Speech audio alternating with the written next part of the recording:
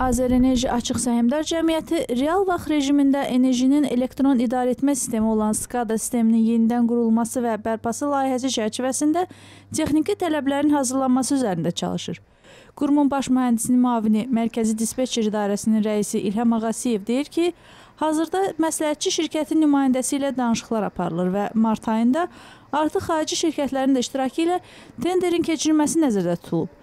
Dispetçer idarəetməsinin tərkib hissəsinə daxil olan SCADA sistemi enerji sistemində məlumatların toplanması və idarə etməsini əhatə etməklə həm avtomatlaşdırılmış şəkildə, həm də dispetçer vasitəsilə idarə olunur. Artıq layihə çərçivəsində yüksək gərginlikli elektrik ötürmə xətləri və yarımstansiyalarda qəzaların qarşısının alınması məqsədi ilə gərginliyin kəskin düşməsinə mane olan əks qəza avtomatikası işə salınıb. Azərbaycan enerji sistemində e, SKADA layihəsinin bir, e, birinci e, fazası, birinci etapı 2005-2011-ci illərdə həyata keçirilib. Fransanın Alstom şirkəti tərəfindən 2011-ci ildən istismardadır və müvəffəqiyyətlə də istismar olunur. Sadəcə olaraq e, rəqəmsal texnologiya çox sürətlə inkişaf etdiyi üçün e, müəyyən e, komponentləri hal-hazırda istehsalçı şirkətlər tərəfindən dəstəklənmir.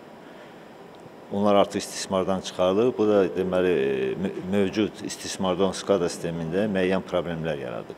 Qurum rəsmisi deyir ki, yenidən qurmanı şərtləndirən amillərdən biri ötən il istehsalçı şirkətin apardığı audit zamanı da müəyyən qüsurlar aşkarlanmasıdır. Bundan sonra Azərenerji rəhbərliyi sistemin yenidən qurulması haqqında tapşırıq verib.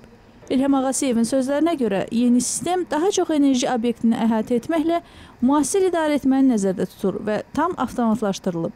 İlkin layihədə 45 e, enerji obyekti əhatə olunmuşdu. Azərenerjinin balans məsuliyyətində olan e, e, deməli enerji obyektlərin sayı 100-dən yuxarıdır.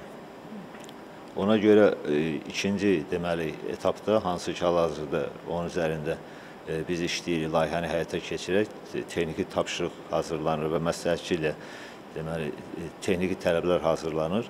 İlkin olaraq ilk 30 elektrik stansiyasının və 150-yə yaxın yarımstansiyanın əhatə olunması nəzərdə tutulur. Baş mühəndisin müavini deyir ki, yeni sistemin imkanları da geniş olacaq və müstəqil enerji istehsalçıların qoşulmasına da imkan yaranacaq. Eyni zamanda yeni sistem istehsalın dolğun idarə etməsinə təsir edəcək ki, bu da enerjinin ötürmə etkiləri, eləcə də stansiyalarda yanacaq sərfi nəzərə alınmaqla yükün optimallaşdırılmasına çəkilən xərclərin minimallaşdırılmasına gətirib çıxaracaq. Bundan başqa kiber hücumlara dayanıqlı olmaqla qonşu ölkələrin sistem operatorlarının istifadə etdiyi SCADA və rabitə sistemləri ilə məlumat mübadiləsini təmin edəcək. Nailə Həsənova, Rüfət Ələkbərov, CBC